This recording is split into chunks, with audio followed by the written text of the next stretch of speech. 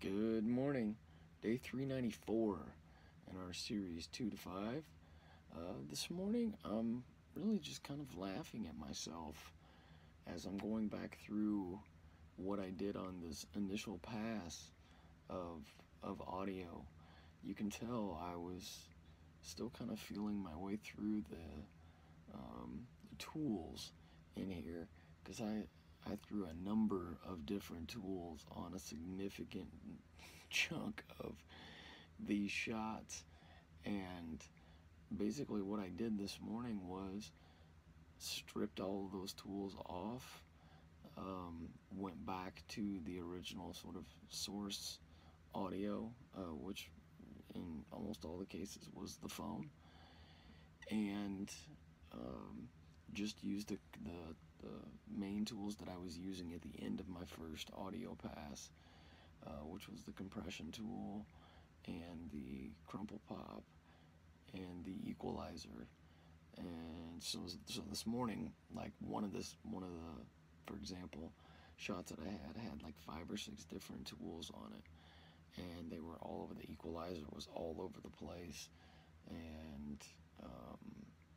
couple more tools added on top of it and I just stripped all those out and basically started from scratch and just wanted to see you know if I just use these two or three tools can I make it even better than it was before?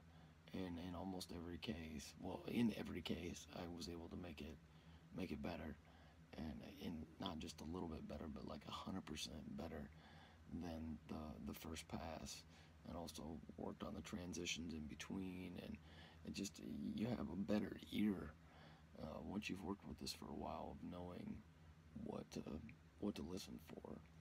It's it's interesting that once you do this long enough certain things and especially like when you're talking transitions one one one shot in isolation might sound okay but when you put it right next to another shot that may be a little bit better, you can tell the difference when you move from one shot to the next. So I was able to work on that this morning too, just being able to, uh, having heard so many of these, I, I, know better what to listen for now, and you just have a finely, or, or more finer tuned uh, ear for it. So.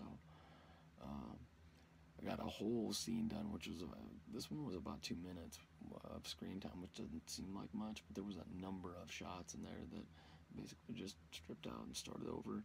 And, um, yeah, they sound great. I don't know when I made the switch from just the compression tool and the CrumplePop, um, but hopefully it's here soon so that the rest of these shots and scenes don't take me that long to go through. You know, just be working on those transitions and making sure that sounds good. So.